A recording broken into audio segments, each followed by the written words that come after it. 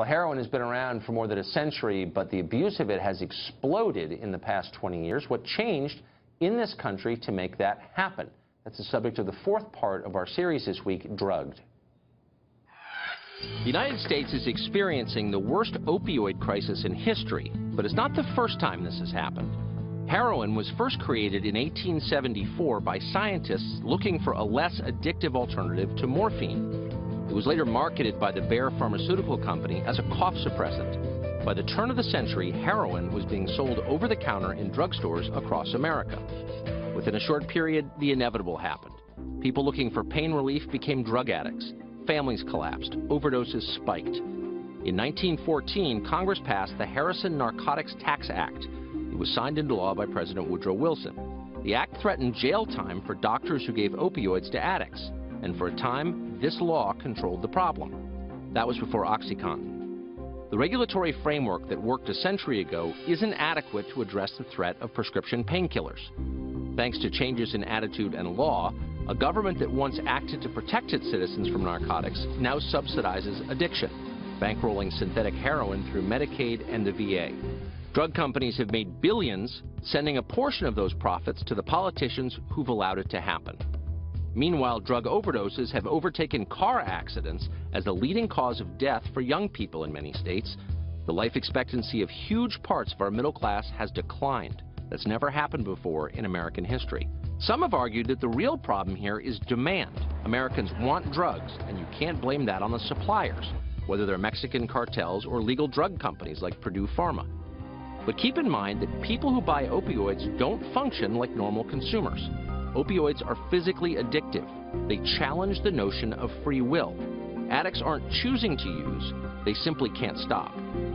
A century ago, Congress saved lives by clamping down on the supply of opiates. It worked, and there's evidence it could work again. Dr. Gabor Mate is the co-founder of Compassion for Addiction. He says the culprit in the question of opioid addiction isn't the drug companies or Congress, but instead it is the system itself. It's capitalism. Dr. Mate joins us tonight. Uh, doctor, thanks a lot for coming on. So we're doing a series for a week on this question. I wanted to get at least one night with an alternative voice in here because I want to remain open-minded. And as I understand it, your contention is that drugs and alcohol, even heroin, are not inherently addictive, but they only become a problem because of the society in which they're used? No, that's not exactly what I say. Uh, but thank you for having me, first of all, and thanks of for course. doing this series. What I'm saying is that uh, all drug use, and particularly opiate drug use, is about people soothing pain. These are powerful painkillers.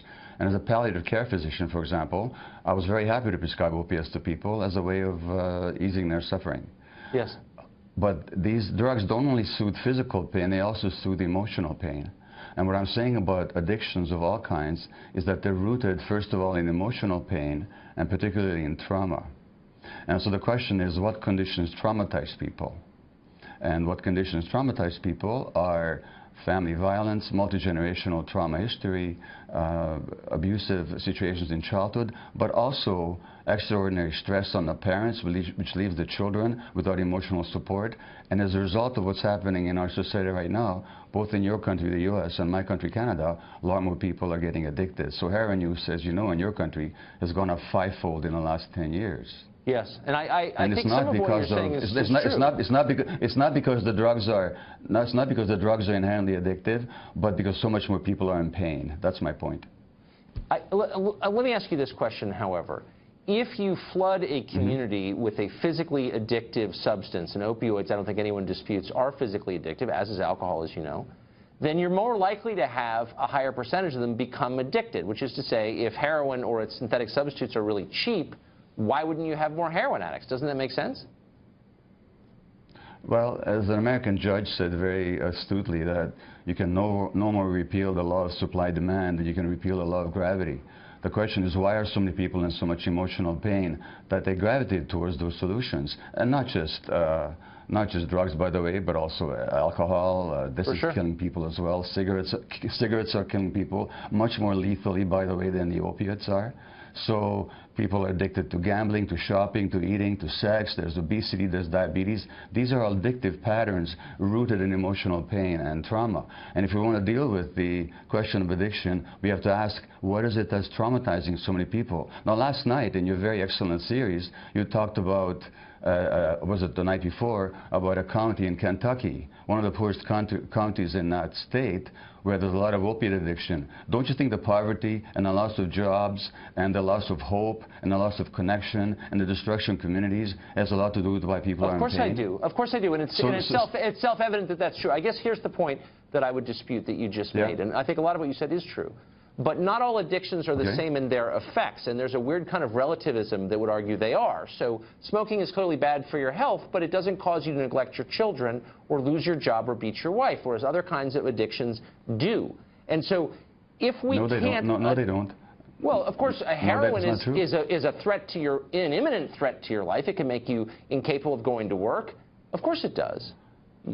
No, And so- actually, in Vancouver, uh, let me tell you a fact. Uh, in international studies in, in Germany, in Switzerland, uh, in the UK, and in Canada, we've actually had clinics that prescribe heroin to confirmed addicts. They hold on jobs. They're good with their families.